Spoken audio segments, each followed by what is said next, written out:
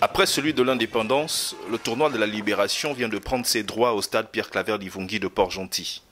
La cérémonie d'ouverture, rehaussée par la présence du gouverneur de Logue-Maritime et du délégué spécial en charge de la gestion de la capitale économique, a permis de faire le point sur les huit équipes qui croiseront l'offert jusqu'à la finale du 30 août prochain. Le tout sous l'organisation de l'association Avenir Prospère. C'est une manière d'occuper les jeunes d'une manière euh, saine. Et vous savez également que euh, le football, c'est un sport qui attire tout le monde. Et on parle euh, beaucoup de paix dans notre pays, ce qui est déjà une bonne chose. Donc moi je pense que les gens se retrouvent, ils peuvent communier ensemble, jouer au football et que le meilleur gagne.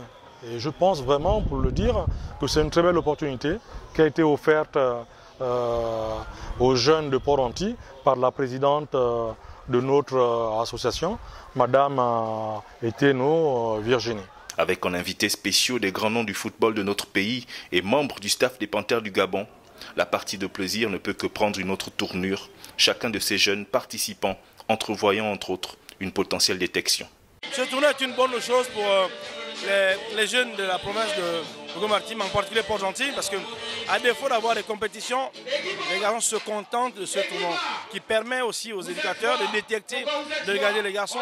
Parce que si demain il y a des compétitions qui commencent pour les catégories de jeunes en équipe nationale, on peut détecter au niveau des compétitions de tournois de vacances. Force de dire que la période estivale d'août 2024 est assurément une des plus prolifiques en termes d'événements sportifs destinés aux jeunes de Port-Gentil le thème de la libération collant à l'actualité de l'heure.